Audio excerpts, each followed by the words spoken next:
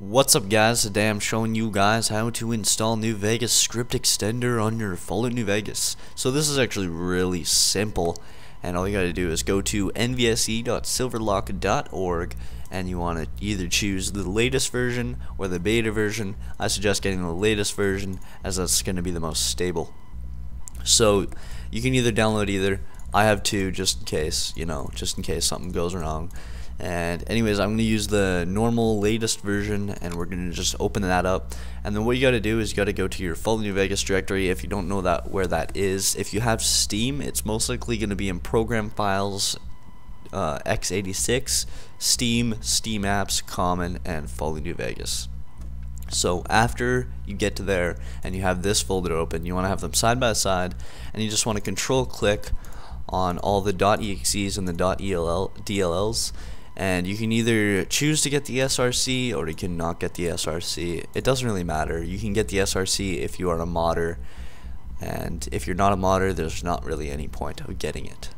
So I'm just gonna bring these over just just for hella's sake. You don't need to drag the dot, dot text folders over because they don't do shit. But uh, I like having them there. So yeah, all you gotta do is click on the New Vegas script extender loader and then it'll start up your Fallout New Vegas. So let's go ahead and do that.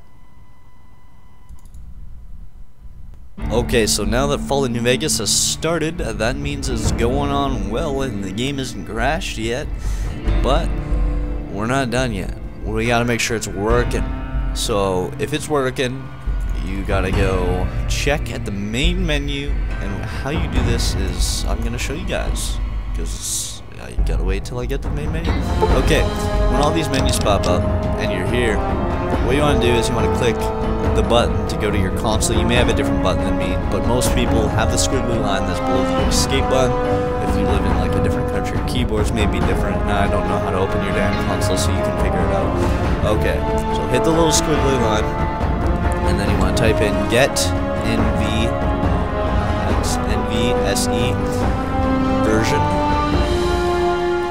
want to hit enter, and then it will pop up your nvse version two or three or one or whatever you have.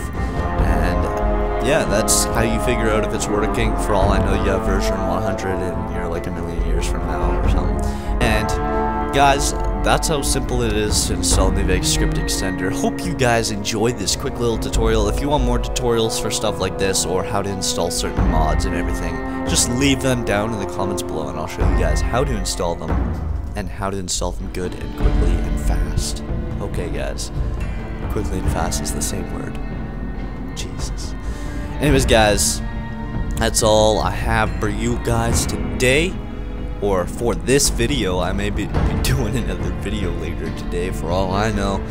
But anyways, guys, stay sexy and stay gaming.